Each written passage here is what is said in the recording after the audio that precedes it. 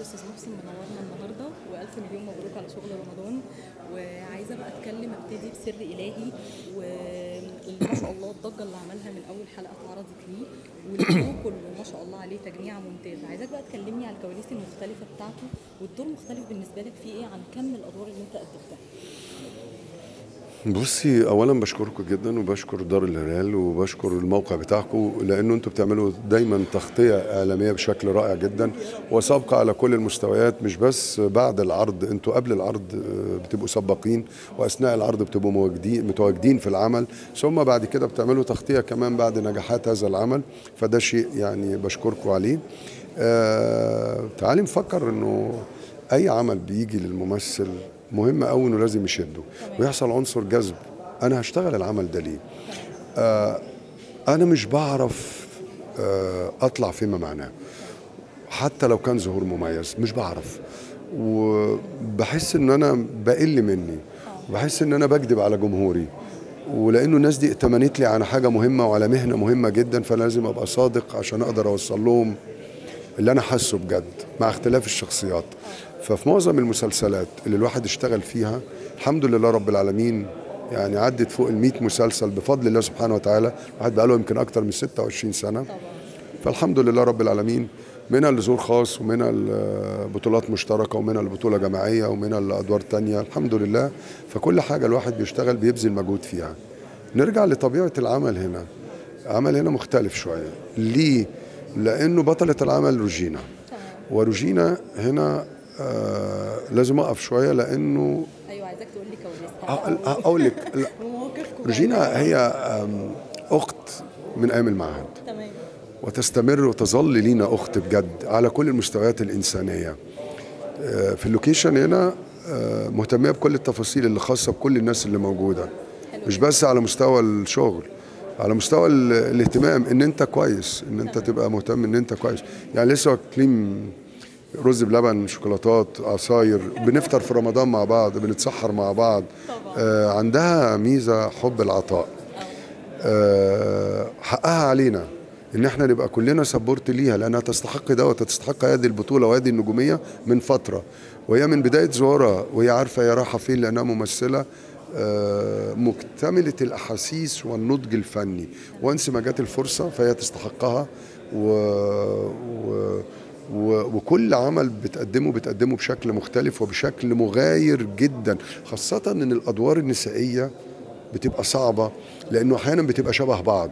فإن يبقى بدور نسائي روجينا تلاقيها هنا غير هنا غير هنا غير هنا على مستوى يعني لما تتفرج على ستهم ما هذه الجرأة اللي تخليها إنها تعمل كده وتحمل ما هذه الجرأة اللي تخليها تتحدى نفسها؟ هنا ما هذه الجرأة؟ في البرنس. ما هذه الجرأة؟ عندها تركيبات مختلفة وبتهتم بكل التفاصيل الاكسسوري الحاجات الشخصية وال character والتركيبة وبتاع.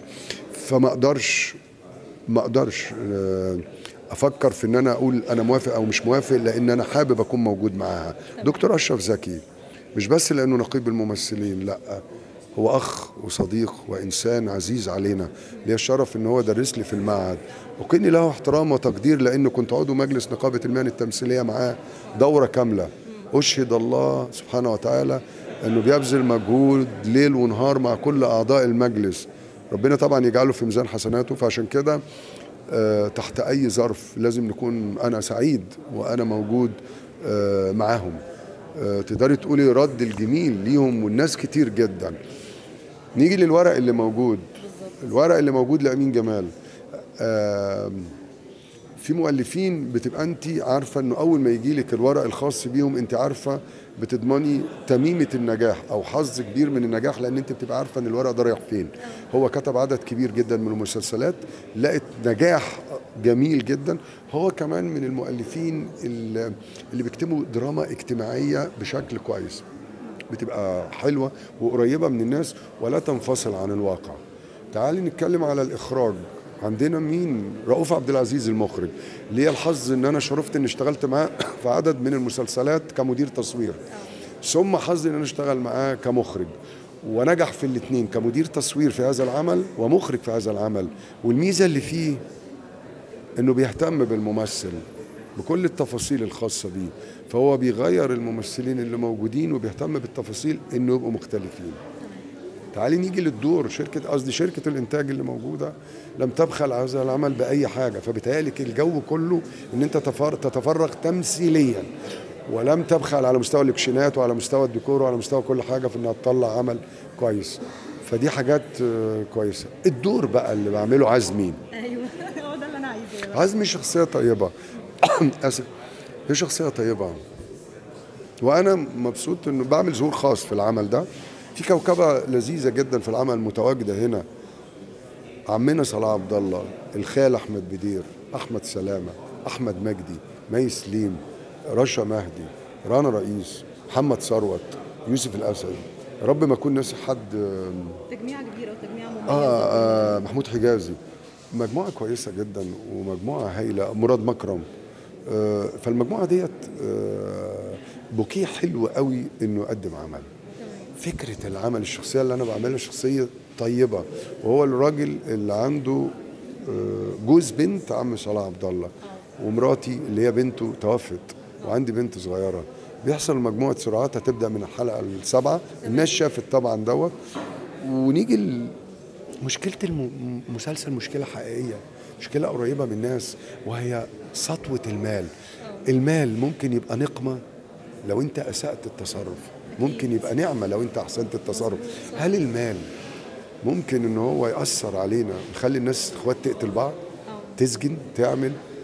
عارفة لما تلاقي إن المسلسل مع احترامي برغم إن هو يقدم سنة 2024 فهو عامل ابديت للشهد والدموع والليالي الحلمية والمال والبنون فهو عامل امتداد كبير. آه لكن بشكل حديث ومودرن قريب من الناس فلا آه طيب عايزاك. بقى تقول لي عزمي من من بعد ما اتعرض وظهرت الشخصية إيه ممكن يكون رد فعل جالك آه، حسيته مختلف جدا ولمس قلبك من زميل من آه، أسرتك من صديق ليك قريب من الجمهور بتاعك أكيد في حاجة جات لك كانت مختلفة تماما بما إنك كل رمضان أو كل عمل بتعمله بتودينا في حتة تانية خالص الحمد لله. الدنيا فيه. متكسرة بطريقة مش طبيعية. الحمد لله. أعرف ده.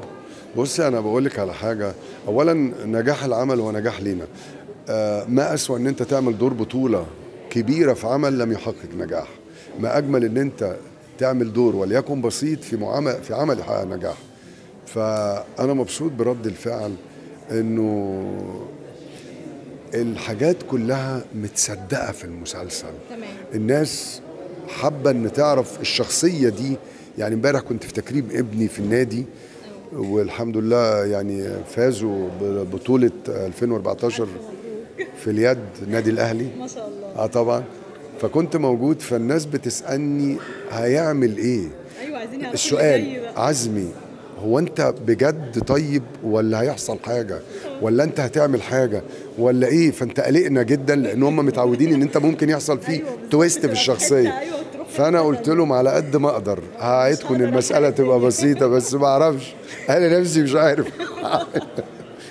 لا بس هي هتبقى الشخصية مفاجأة جامدة جدا إن شاء الله شاء للناس. الله بإذن الله. طيب أنا هخرج بقى من سر إلهي وهروح لعتبات البهجه وبعد كده طبعا مسار إجباري طبعا. فشوف أنت بقى عايز تبتدي بإيه و... وتتكلم على إيه الأول اللي أنت عايزه. بقى طبعا شوف بقى هتبتدي بمين فيهم؟ بص ال ال أنا بشكر ربنا سبحانه وتعالى على نعمه كتير علينا إنه السنة دي حظي جوكر السنة دي رمضان. والله ده رزق ربنا والله العظيم رزق ربنا. يعني الواحد. بيشكر ربنا لأنه يعني بجد في سر إلهي عتبات البهجة مسار إجباري كبرى إمبراطورية ميم الحمد لله رب العالمين ب 100 راجل. فدي نعم كتير جدا من ربنا يعني الحمد لله. شخصيات متنوعة وشخصيات أنا ما كنتش متخيل إن الحاجات كلها بفضل الله سبحانه وتعالى ربنا اراد إنها كلها تتنظم وانه كلهم المخرجين المنفذين. أنا بشكرهم جدا لأن تعبتهم جدا وكلهم قدروا ينظموا المواعيد. فاضل يومين وأخلص تصوير.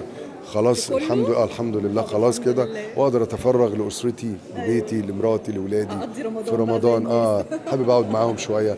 بس الحمد لله هم سعداء. لا هم سعداء. طبعا هم سعداء بالنجاح. ده فرحانين آه،. بيا وليا أكتر مني بصراحة يعني. آه، آه، عتبات البهجة من المسلسلات اللي فيها حاجات مهمة قوي. دكتور يحيى الفخراني أستاذنا يحيى الفخراني. لازم توافقي من غير أي تردد لأنه أول ما جالي التليفون أنا معاكم آه، العدل Group شركة ما فيش ما فيش ولا ولا عرفت حاجة. العدل Group بكل قلبي بشكرهم. شركة محترمة محترمة محترمة على كل المستويات. كل الشكر والتقدير لدكتور جمال العدل ودكتور مدحت العدل وأستاذ محمد العدل. بجد وشكر خاص لأخويا طبعا آه، صبري السماك المنتج الفني وللمخرجه المنفذة نهله فاروق. الناس بتعمل كل حاجة عشان تخليك تمثل بس. الشركة ليا الشرف إن أنا اشتغلت معاهم. جدا. جدا بجد بشكرهم من كل قلبي. طبعا مسلسل عتبات البهجة أستاذ يحيى الفخراني وصلاح عبد الله وجمانة مراد و آه، أنت بتتكلمي آه، المجموعة والورق لدكتور مدحت العدل. فانت بتتكلمي لا آه، أنا مبسوط ان أنا تواجدت في العمل مبسوط ان أنا بشارك فيه عامل كاركتر مختلف حنا في القطر بلطجي دمه خفيف ليه لازمات كويسة مسمع في الشارع رد فعل كويس الحمد لله رب العالمين حاجة كويسة يعني وسعيد بيها. طيب كوبرا بقى. كوبرا مفاجأة لأنها هتتعرض من يوم 15 ومفاجأة ليا أنا. تمام. أنا بقول لك آه، لا أنا بعمل العمدة بقى لا هو جنس الأفيش أنا بعمل شخصية العمدة. آم، شفت الكواليس إزاي؟ ما لا آه،؟ العمدة المسلسل كوبرا ال 15 حلقة مسلسل آه، آه، كوميدي وسسبنس و ومحمد عادل إمام غير. هنكتفي بكده بس. محمد عادل إمام ده غير. يعني هو ابن الزعيم عادل إمام بحق. وهو أخو الرامي إمام الخلوق بحق. محمد عادل إمام ده إنسان وفنان و... لا أنا اشتغلت معاه في هوجن واشتغلت معاه في كوبرا. أنا مبسوط قوي وبتمنى له من كل قلبي إن إحنا نحقق نجاح كبير قوي لأنه عاملين أنا عامل كاركتر مجنون في المسلسل. طيب مسار إجباري؟ صار إجباري كل الشكر والتقدير بجد ومن كل قلب نادين خان إن حالفني الحظ إن أنا أشتغل معاها لأنها آه لا هي حالة خاصة. إحنا عملنا بروفات كتير جدا عشان نوصل للكاركتر اللي أنا بعمله شخصية مسعد. كل ما نقرب لحاجة نبعدها. كل ما نقرب لحاجة نبعدها. لغاية ما وصلنا الكاركتر ما اتفقنا عليه في لحظة إحنا الاثنين وهو عامل صدمة للمتفرج ولسه من الحلقة السابعة أو الثامنه لغاية ال 15 مسعد ده موضوع كبير. آه، أحمد داش عصام عمر بسمة رشدي الشامي أخويا وصديق عمري وصابرين كرو الإنتاج هاني عبد الله ومحمد جمال دينا كرايم آه، دينا كريم. أنا بشكركم من كل قلبي. بشكركم على لا لانهم support جدا للمسلسل وعاملين حاجة كويسة قوي في مسار إجباري. طيب محسن واعدنا- من بعد ما يخلص اليومين تصوير وهيبقى بعد كده هو متفرغ في رمضان. آه وأنا عايز أقول لك طبعا أنا آسف والله. طبعا أنا أنا أنا أنا برضو لما جالي زور خاص في إمبراطورية مين مع خالد النبوي شركة أروما مصطفى العوض تامر مرتضى والمنتج الفني أحمد عبد العزيز وخالد النبوي. خالد النبوي يعني محتاجة يعني أيوة، الناس الجميلة واللذيذة وال آه يعني ف فكان لازم نعمل دوت. 100 راجل ممدوح شاهين الشركات المحترمة وأنا حبيت إن إحنا نعمل دوت مع سمية الخشاب محمود عبد المغني محمد القص ومحمد رضوان.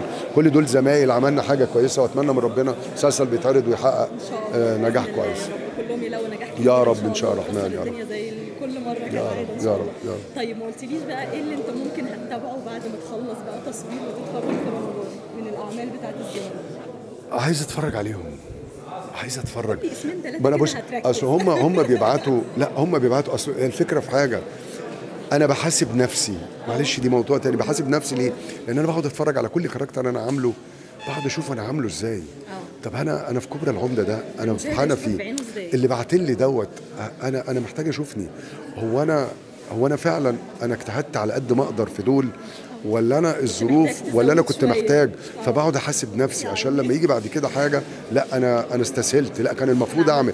آه. أنا بح... بحس إن كل مرة ببدأ في حاجة وكأني ببدأ فيها من جديد. عشان كده بقعد اتفرج عليهم بس محتاج الوقت مستنى أما أخلص بس. إن شاء الله. إن شاء الله. طيب بعد ما هنخلص من season رمضان بقى في حاجة أنت بتقراها وهتستعد لها أو حاجة off season بعد كده أو فيلم معين هتصور فيه أو أي حاجة؟ المفروض إنه في فيلم بنعمله آه، ده إنتاج محسن الشوادي. آه، الورق جه وقريناه. آه، المفروض إنه يتم تصويره بعد رمضان. في كمان آه، حاجة جديدة خمس مخرجين كل مخرج بيخرج ثلاث حلقات. آه آه بقى دي آه. مختلفة. فده برضو إن شاء الله لسه باذنك يا رب قرينا جزء منه وقالوا إن هم؟ هيخش بعد رمضان. آه اسمها محامي نفسي الحلقات اللي أنا شغال عليها. فدي لسه بعد رمضان إن شاء الله هنبتدي هيبقى أول تصوير هيبقى إن شاء الله. أول تصوير بعد رمضان بالإضافة للفيلم. ومش فاكر بس في يمكن ورق أو حاجة مش عارف. إيه طيب؟ افتكر كده. استني والله على العظيم مهلك براحتك. إحنا ال... استني آه والله افتكر لك معايا الورق. والله هفتكر لك ناسي خالص. والله افتكر. والله العظيم فعلا أقسم بالله أنا أنت عارفة النهارده إيه؟